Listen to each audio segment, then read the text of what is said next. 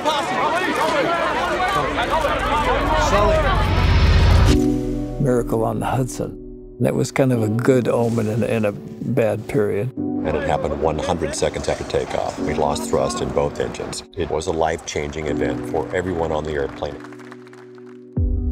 The NTSB investigation, which is a, a big part of the story that people don't know. Until I read the script, I didn't know the uh, investigative board was trying to paint the picture that he had done the wrong thing. They were kind of railroading him into uh, his fault, and that wasn't the case at all. There's something about a near miss like that that makes you appreciate life as you have it.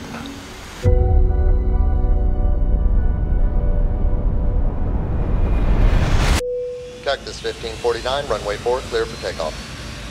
Cactus 1549, clear for takeoff. I'll never get over how beautiful it is up here. Life's easier in the air.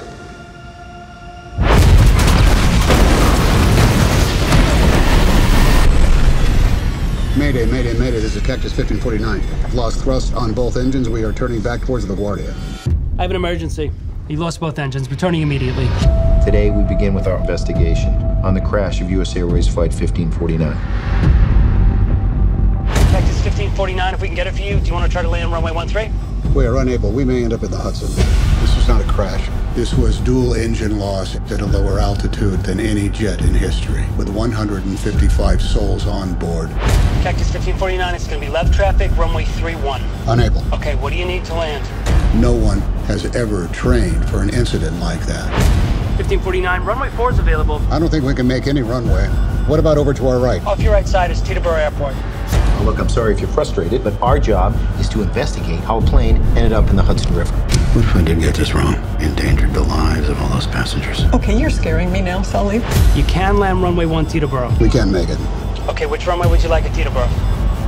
I've delivered a million passengers over 40 years, but in the end, I'm going to be judged on 208 seconds. We're going to end up in the Hudson. I'm sorry, say again, Cactus? This is the captain. Brace for impact.